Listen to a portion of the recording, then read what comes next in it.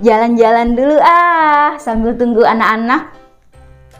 Wah, pemandangannya sangat indah sekali. Apakah ada nonton Ibu Reti? Apakah ada anak-anak?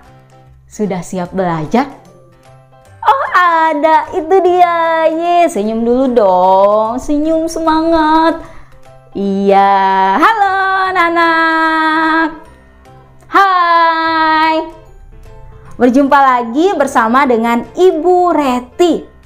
Hari ini kita kembali belajar ya. Semangat. Nah, nenek tua tak punya gigi. Sangat unik cara kunyahnya. Aku ucapkan selamat pagi, salam hangat untuk kita semua. Anak-anak yang ada di rumah, bagaimana kabarnya? Bagaimana? Baik? Yeay, kabarnya baik. Puji Tuhan. Kalau ada yang sakit, cepat sembuh ya dan kembali semangat. Anak-anak, sebelum belajar kita awali dulu dengan berdoa supaya kita ya dapat mengerti apa yang disampaikan Ibu Reti ya anak-anak. Nah, doa kita dipimpin oleh salah satu temannya. Kepada Karin, silahkan mimpin doa. Anak-anak ambil sikap doa yang baik. Teman-teman, marilah kita berdoa. Dalam nama Bapa dan Putra dan Roh Kudus. Amin. Ya Tuhan, sebentar lagi kami ingin memulaikan pelajaran ini. Berkatilah teman-teman Karin, berkatilah Boreti, dan berkatilah pelajaran ini. Terima kasih Tuhan. Santo Yohanes dan Bosco doakanlah kami. Amin. Dalam nama Bapa dan Putra dan Roh Kudus. Amin. Terima kasih Karin sudah memimpin doanya. Doanya sangat bagus ya, sikapnya juga. Baik anak-anak semuanya, sekarang kita mau main tebak-tebakan nih dengan gambar. Siap? Siap belajar? Kalau siap, angkat tangannya. Ayo, walaupun Ibu Reti tidak lihat. Ayo. Uh, pintar. Oke, sekarang kita tebak-tebakan. Kita langsung ke gambar satu. Gambar apa ini? Gambar apa? Iya, betul, gambar guru. Ya, ibu gurunya sedang apa? sedang mengajar. Pintar. Sekarang gambar yang kedua.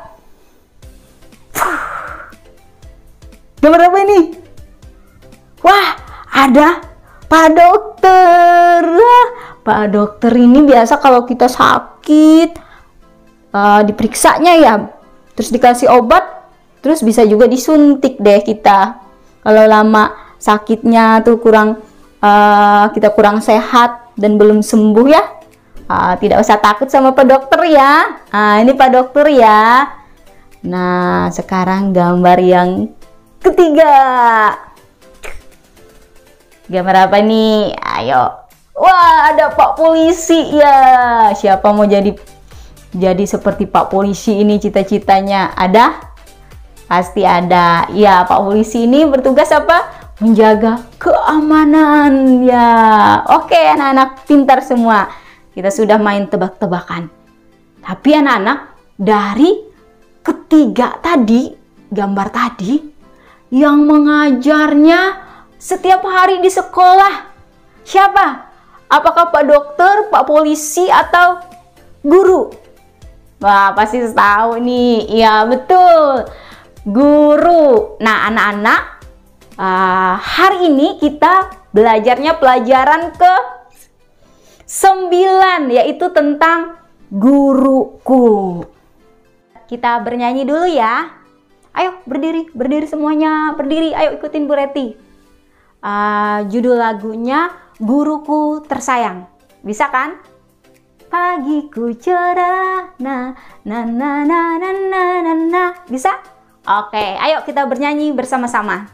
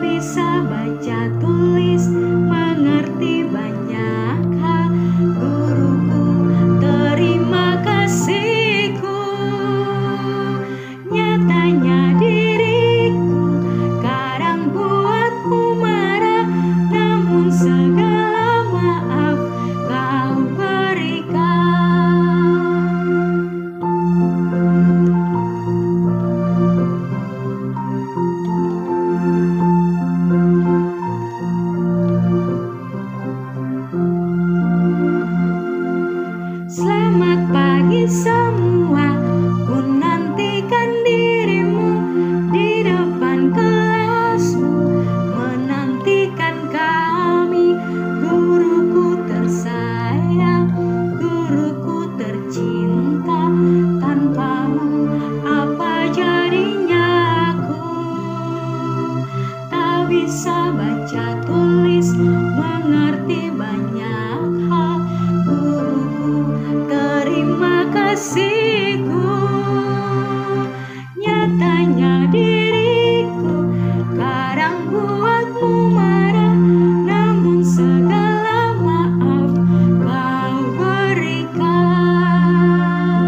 Baik, anak-anak yang terkasih, uh, tujuan pembelajaran kita hari ini tentang guruku ya ada dua. Uh, pertama, anak-anak dapat bersyukur mendapatkan kesempatan belajar dengan memanfaatkan waktu belajar sebaik-baiknya dan melaksanakan tugasnya dengan penuh tanggung jawab. Ya. Dua, anak-anak uh, dapat mematuhi nasihat guru sehingga pendidikan ya akan berhasil dan kelak mempunyai kemampuan dalam aspek sikap, pengetahuan dan keterampilan. Sekarang kita belajar tentang guruku. Ya, guru. Guru itu berarti mengajarnya di mana anak-anak? Iya, betul, di sekolah. Kalau tentang guru ini, Ibu Reti ini jadi ingat nih guru-guru. Waktu kecil, sampai Ibu Reti kuliah. Wah, banyak yang Ibu Reti terima. Pengalaman-pengalaman ya, waktu kecil itu kita belajar membaca, menulis, menghafal perkalian oleh Bapak Ibu guru. Membedakan mana yang baik dan tidak baik. Itu dari guru. Wah, terima kasih guruku. Ayo anak-anak, sama-sama dengan Ibu Reti. Terima kasih guruku sudah memberikan ilmu kepadaku. Ayo ulang. Terima kasih guruku sudah memberikan ilmu kepadaku. Wah, anak-anak semuanya, uh, guru di sekolah itu Berarti mengajar mata pelajaran nih. Banyak macam-macam kan mata pelajarannya. Ada yang ingat? Ada pelajaran apa aja? Ya agama, bahasa Inggris, hmm, PJOK, tematik. Kalau tematik kan ada bahasa Indonesia, matematika, apalagi PPKN ya. Uh, itu ya. Selain mengajar mata pelajaran, ibu guru juga, bapak guru itu mengajar hal-hal yang baik ya. Mana yang tidak baik, mana yang baik. apa yang disampaikan oleh Bapak Ibu guru itu, anak-anak harus patuh, harus mendengarkan. Karena apa yang disampaikan oleh guru, ya terutama di dalam pelajaran itu untuk masa depanmu. Ya, misalnya ada guru ini, misalnya cerewet-cerewet nih, ngomong terus, ngomel terus di kelas. Nah, kalau kalau kita belajar yang tatap muka nih. Nah, kalau anak muridnya buang sampah tidak pada tempatnya, pasti gurunya bisa marah, terus ditegur, buang sampahnya pada tempatnya. Itu ya anak-anak, Bapak Ibu guru itu mengajar pasti mengajar hal-hal yang baik supaya anak menjadi anak yang sukses. Nah, di rumah juga anak-anak harus patuh kepada siapa kalau di rumah? kepada orang tua, ayah, dan ibu. Kalau di sekolah dengan guru. Jadi guru dan orang tua itu bekerja sama untuk membantu kamu ya supaya kamu bisa ya bela, bisa berhitung, membaca ya supaya menjadi anak yang baik. Baik anak-anak, hmm, di pelajaran ini kan tentang yang cerita tentang Yesus bersama muridnya ini. Coba lihat dulu. Nih. Wah. Ini lihat ada ikan kan? Masih ingat apa yang dikatakan oleh oleh Tuhan Yesus kepada siapa ini? Ya, kepada Simon Petrus. Apa yang dia katakan? Apa? Ya, Simon, tebarkanlah jalamu ke tempat yang paling dalam supaya kamu mendapat ikan. Apa tanggapannya Simon? Simon mengikuti dan mematuhi apa yang dikatakan oleh Tuhan Yesus.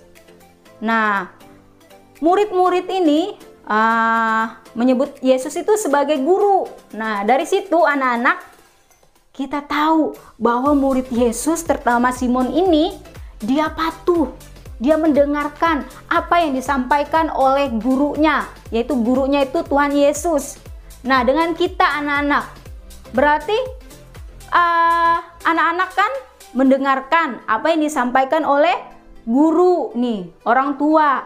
Jadi anak-anak harus mendengarkan, ya, melaksanakan karena apa yang disampaikan itu hal-hal yang baik supaya anak-anak nanti ke depannya menjadi orang yang baik, menjadi anak yang sukses, selalu bersyukur dalam hi hidup.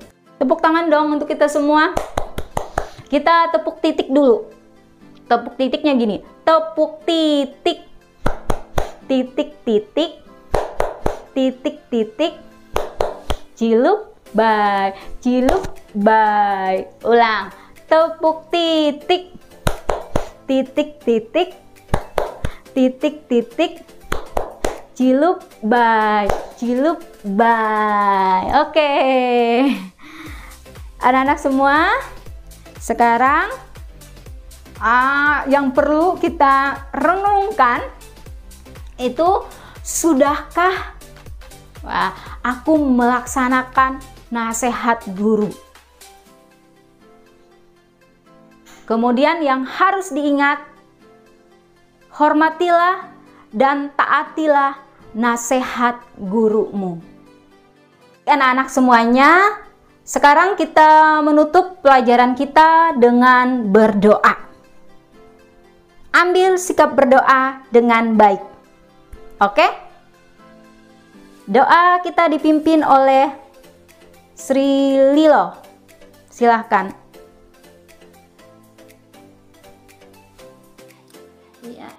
Ibu guru dan teman-teman karena kita sudah selesai belajar mari kita tutup pelajaran dengan doa dalam nama Bapa dan Putra dan Roh Kudus. Amin. Allah Bapa di dalam surga terima kasih sudah menemani kami dalam belajar tadi. Semoga kami makin pintar dan tahu segala hal untuk masa depan kami. Terima kasih. Kami ucapkan kepadamu untuk ibu guru kami yang mengajari dengan baik. Berilah kami kesehatan, kepintaran, dan buat kami untuk tetap bersenang-senang dengan teman-teman, dengan guru, dengan orang tua, dan kakak-kakak. Terima kasih Tuhan Yesus, demi Kristus, dan kami amin. Salam Maria penuh rahmat Tuhan sertamu, terpujilah engkau di antara wanita, dan terpujilah buat tubuhmu Yesus. Santa Maria Bunda Allah, doakanlah kami yang berdosa ini, sekarang dan waktu kami mati. Amin. Dalam nama Bapa dan Putra dan Roh Kudus. Amin. Terima kasih anak Rilo yang sudah memimpin doa. Doanya sangat bagus sekali. Burung irian, burung cendrawasi, cukup sekian dan terima kasih. Sampai jumpa lagi anak-anak semuanya tetap sehat, dan selalu semangat. Dadah!